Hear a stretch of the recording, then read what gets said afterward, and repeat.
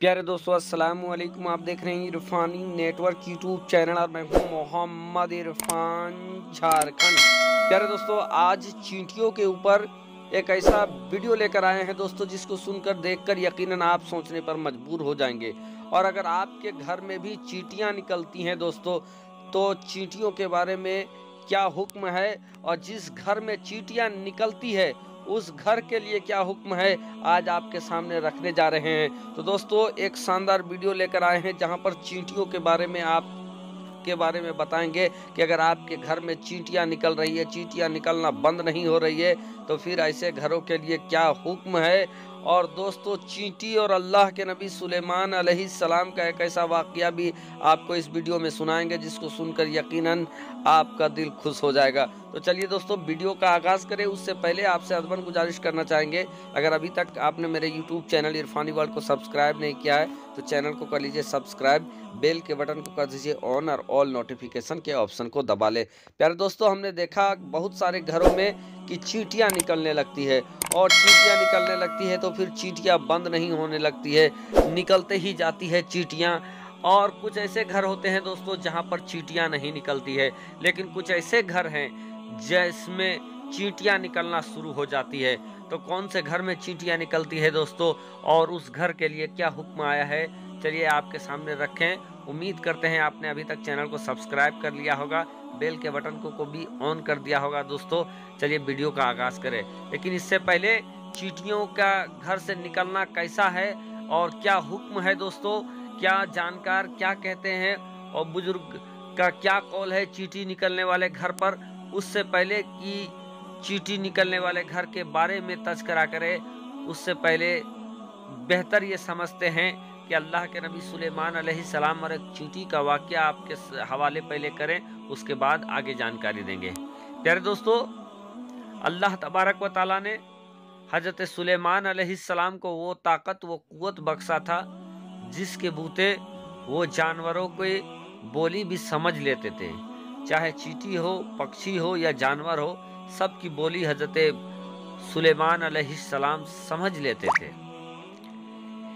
एक बार का वाक्य है दोस्तों, हज़रत सुलेमान सलाम एक तालाब या एक दरिया के किनारे गर्दिश कर रहे थे, घूम रहे थे, टहल रहे थे। कि उन्होंने ये देखा कि एक चीटी अपने मुँह में एक दाना लेकर आ रही है और उस दाने को लेकर वो चीटी पानी के करीब चली जाती है और पानी के जब करीब वो चीटी चली जाती है तो पानी के अंदर से एक मेढक निकलता है और वो मेढक अपने मुँह को खोल देता है। और जब वो मेढक मुँह खोलता है तो वो चीटी, वो दाना समेत उस मेढक के मुँह में चली जाती है। फिर मेढक क्या करता है? अपने मुँह को बंद करता है और वो उस पानी के अंदर चला जाता है। पानी के अंदर चला जाता है। फिर कुछ देर के बाद वो मेढक निकलता है, पानी से बाहर आता है और फिर अपने मुँह को खोल देता है और वो चीटी उसके मुँह से निकलती है। लेकिन इस समय इस वक्त उस चीटी के पास वो दाना नहीं था। फिर ये मामला हज़रत सुलेमान सलाम देखते रहे कि कई बार वो चीटी इसी तरीके से आना जाना करती रही। वो दाना लेकर आती थी, पानी के नज़दीक आती थी, मेढक भी निकलता था, मेढक के मुँह में वो चली जाती थी, फिर मेढक पानी के अंदर चला जाता था। अब अल्लाह के नबी हज़रत सुलेमान सलाम ने इस माजरे को जब देखा तो उनको इसकी हकीकत और जानने का बहुत मन किया कि आखिर इसके पीछे क्या राज है, क्या हकीकत है, क्या फसाना है। फिर क्या था? अल्लाह के नबी हज़रत सुलेमान सलाम ने उस चीटी से कहा ए चीटी, क्या माजरा है? तुम कहीं से दाना लेकर आती हो और फिर एक मेढक निकलता है, मेढक के मुँह में बैठकर तुम नदी के कहाँ पर चली जाती हो?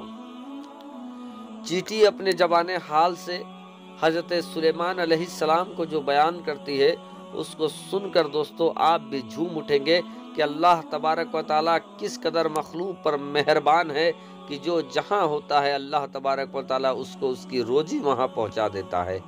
दोस्तों, चीटी अपनी जबान हाल से अल्लाह के नबी सुलेमान सलाम को ये कहती है कि अल्लाह के नबी, इस दरिया के अंदर, एक पत्थर के अंदर एक कीड़ा रहता है और उस कीड़े को, वो कीड़ा वहीं रहता है। और अल्लाह तबारक व ताला ने मुझे उस कीड़े तक रोजी पहुँचाने के लिए मुंतखब किया है। और मुझे, चूँकि मैं एक चीटी हूँ, मैं सीधा पानी पे नहीं जा सकती हो तो उस मेढक को जिसके मुँह पे मैं बैठ जाती हूँ, घुसती हूँ, उस मेढक को मुझे उस कीड़े तक ले जाने के लिए मुंतखब किया है। मैं जब दाना लेकर आती हूँ तो आने के बाद मैं दरिया के किनारे चली जाती हूँ और वो मेढक निकलता है, उसके मुँह पे मैं चली जाती हूँ। वो मेढक मुझे उस चट्टान के पास ले जाता है, उस पत्थर के पास ले जाता है, जहाँ पर वो कीड़ा रहता है और उस कीड़े के सामने जाकर वो मुँह खोलता है, जिसके बाद मैं वो दाना उस कीड़े के सामने रख कर चली जाती हूँ। और इसी तरीके से अल्लाह तबारक व ताली ने मुझे उस कीड़े के लिए रोजी पहुँचाने का ज़रिया मुझे बना रखा है। अल्लाह तबारक व ताली ने और इस मेंढक को मुझे वहाँ तक पहुँचाने के लिए मुंतखब किया है। दोस्तों, इस बात को सुनकर हज़रत सुलेमान सलाम बड़े हैरान होते हैं। बहरकैब दोस्तों, अल्लाह तबारक व ताली की ये शान है कि हर मखलूक के लिए रब तबारक व ताली रोजी तय कर दिया है। और जो चाहे जहाँ भी रहे दोस्तों, अल्लाह तबारक वाली उसकी रोजी वहाँ तक पहुँचा देता है। कैब दोस्तों, चीटियों के बारे में कुरान मस्जिद में भी ज़िक्र आया है।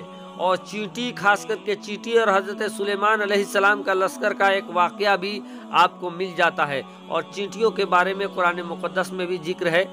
कैब दोस्तों, अब आप ये जानना चाहते हैं कि वो घर कैसा है, जिस घर में चीटियाँ निकलना बंद नहीं होती है। बरकैब दोस्तों, जो जानकार हैं, जो बुज़ुर्गों का जो कॉल मिलता है, उसमें ये बताया जाता है कि जिस घर से चींटियाँ निकलती है या चींटियाँ जिस घर से निकलना बंद नहीं होती है, ऐसे घर के लोग बड़े परेशान हो जाते हैं चींटियों को मारने और हटाने के लिए।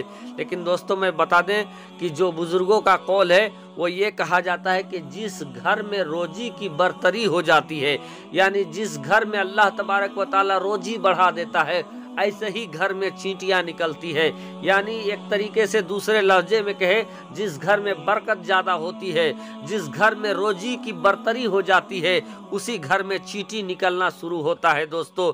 क्योंकि रोजी की बरतरी वहाँ है, वहाँ से उस चींटी को कुछ हासिल होता है। इसीलिए दोस्तों कुछ ऐसे लोग भी हैं, जिनके घर में अगर चींटी निकलता है तो उन चींटियों को वो चीनी दे देते हैं। तो दोस्तों आज की ये जानकारी आपको कैसी लगी? कमेंट के ज़रिए हमें ज़रूर बताएँ। शुक्रिया आदाब।